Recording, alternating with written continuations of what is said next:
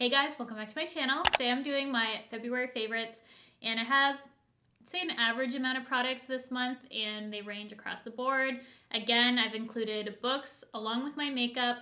I have skincare, fragrance. Actually, I have two fragrances this month which doesn't often happen. So it was a fairly good month in terms of products. For makeup, I don't have that much because I was suffering from an allergic reaction earlier on, which was absolutely awful on my face. So I'm gonna talk about that briefly in this video, just products that kind of helped me through that, but my skin had never been worse than this past month, so I didn't use makeup during that time. Regardless of my bad month, I did discover some really amazing products and books that I can't wait to talk to you guys about. So if you want to see everything that I've been loving this past month, then just keep watching. The first thing I wanted to talk about and just thank you guys for those who have submitted a testimonial for me for the Sephora squad.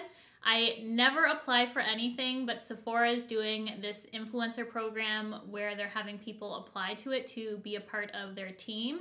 And this is for Instagram, it's not for YouTube, but I just wanted to thank you all because I know a lot of you follow me also on Instagram. Sending me some of the things you wrote for me has just honestly, it made my month because I was having such a bad month and that I'm gonna cry. That really picked me up and boosted my spirits.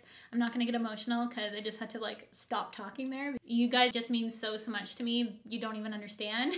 I was gonna start bawling there and I just did my makeup. I can't. If you would like to submit a testimonial for me, I would really appreciate it. I'll leave the link down below for you guys, but I can't talk about it anymore because I'm just so thankful for those who have already done it for me. I truly appreciate it and thank you for taking the time. It just takes two minutes. So if you would like to do that for me, I would really, really appreciate it. So thank you so much. Let's dive into the makeup before we ruin what we have on right now. I feel like I need to sit higher, like I need a boost. Let me go get a pillow. I almost ate it there. That's better, I think. You think that's better? I think it's better. One of my number one finds, if not my favorite find this month, is from Lancome. It's their Le Monochromatique eyes, lips, and cheek products. You can use this a multitude of ways. And the formula of this is unlike anything I've ever used. It's so, so creamy and just buttery smooth and pigmented. This is the shade French Affair, which happens to be my favorite that I've tried, but I really want to check out all the other shades. I'm wearing the shade on my cheeks right now and on my lips, and it's just so beautiful. You can wear these colors on your eyes as well, and the formula just blends out so nicely. It gives a beautiful color to the cheeks. It's the perfect amount of pigmentation, easy to blend, easy to work with. I just I'm obsessed with this formula. So if there's one thing to check out from this favorites video is these because I think these are truly a beautiful product, really unique and something I definitely want to dive in more of. But French Affair, I'm gonna be wearing this all summer. This is like the perfect color to me on my lips, on my cheeks. I haven't tried this color on my eyes. It's mostly a cheek product and on my lips, I just think it's so beautiful. This is the only thing I'm wearing is this on my lips. So I had to mention that first. The next product that I have been loving is the Fenty Beauty Powder. I picked up the shade Butter and this is so beautiful, lightly used on the face. I don't like this for baking, but I do like this as an all over setting powder as well as just lightly dusted underneath my eyes. I think it does a beautiful job with smoothing, which I love that there's so much product in here and I don't have to use that much. There's almost one ounce of product in here, 28 grams, and this is gonna last me forever. I love the formulation of this, how smoothing it is.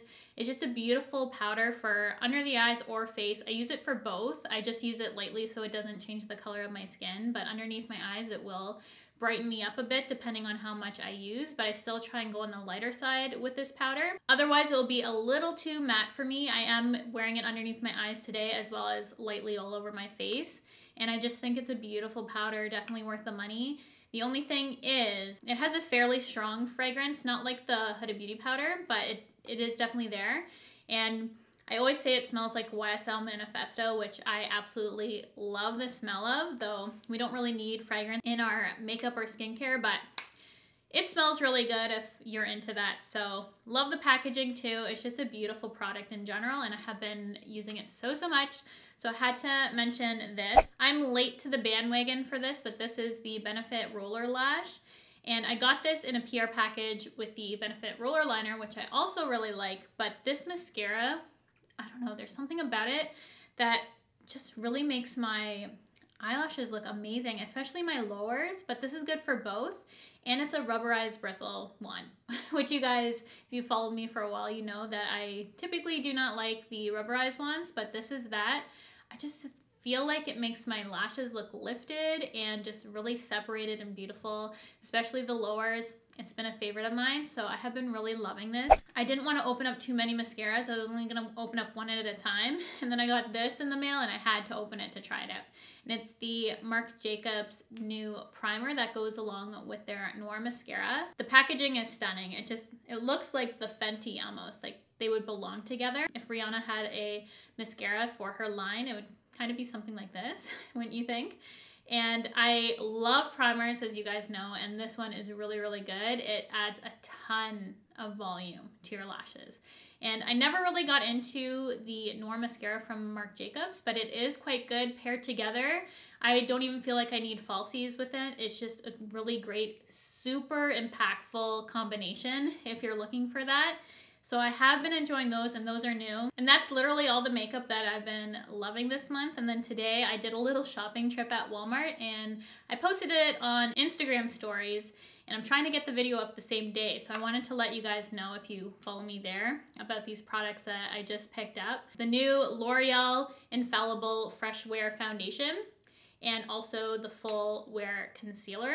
And then I saw these, I hadn't heard anyone talk about these bronzers before, but I picked up two of them. This is the color 200, but it's the City Bronzer from Maybelline.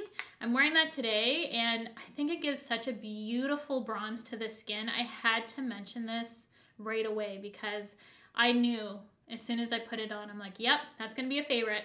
But obviously I wanna see how it wears and I'll update, I can't open this right now. I'll update you guys in this video on how it wears this evening. I need to drop these. This is the color and in the packaging, I thought it looked a little bit more neutral and then opening it up, it's definitely a little warmer if you can tell. But that is what's on my face.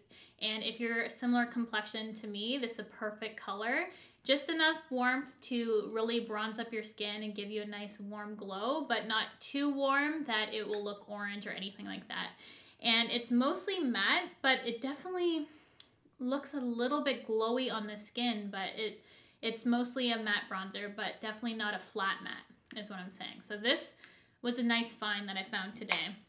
And obviously I want to fully test out these products more. I'm just mentioning them that they're on my face, but I'm gonna do a full video on these for you guys because I figure some of you might wanna see it just like I wanted to test these out and see because I've been hearing a lot about them, the Fresh Wear Foundation and the Full Wear Concealer. So I picked up Natural Buff in the foundation and the shade Cashmere in the concealer. Wearing those both on my face right now, so if you want to see a video in full about these, I'm mentioning it now here that that is what's on my face right now. And if you want to hear my thoughts, full review, wear test, all that kind of stuff, let me know and I'll definitely do that for you guys. So I had to mention that right here because I am wearing those and I know a lot of you like to know what I'm wearing in the videos. One more thing, I almost forgot. I started using this Pixi spray, their Glow Mist, because of Stephanie from Babs Beauty. I was watching her Insta stories and she mentioned how she purchased another one of these because she loves it so much and I hadn't tried it yet. So I started to use this and I love this. It has the perfect spray to it, so soft. Look at that. It just sprays so beautifully on and it makes your skin just glow and melt everything together. It has a little bit of oil in it, argan oil. You shake it up, but it doesn't disturb your makeup and make you have any kind of spots like the Tatcha Mist, which I really like, but it can screw up my makeup sometimes.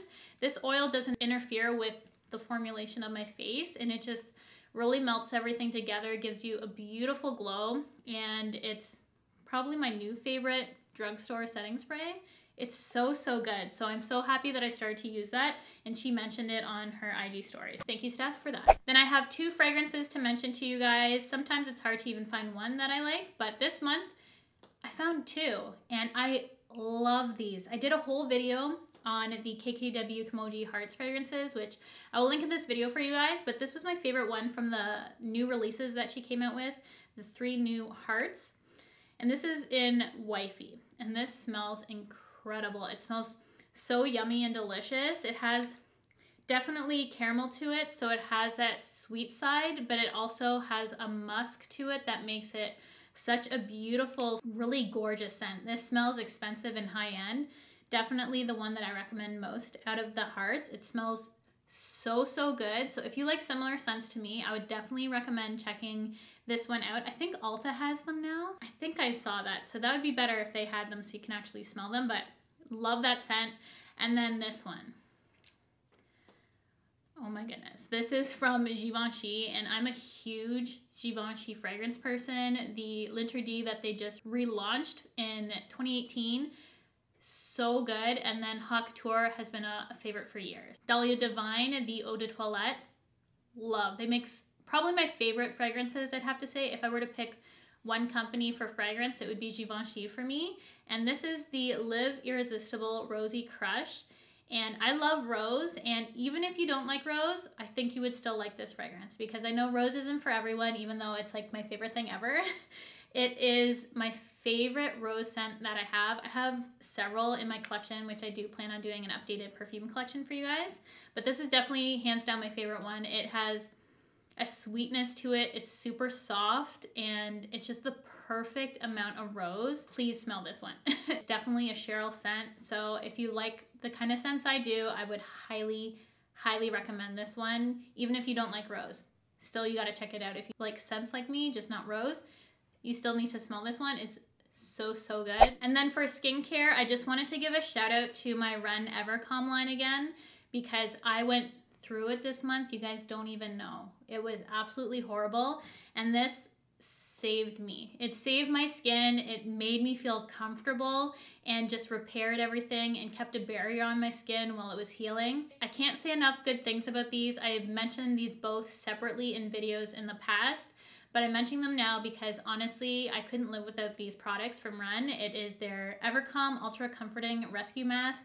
I've gone through multiples of this and as well as the Evercalm Overnight Balm, multiples. These are so, so good. Both I use for different things. This is like an instant make my skin feel better right away type of deal. And this is an overnight kind of lock everything in if I'm super dry and flaky. These work really well at just keeping my skin balanced, recovering, and if you have overreactive skin and you have not checked out this line, you must. I love everything in the line, but these two are holy grail items.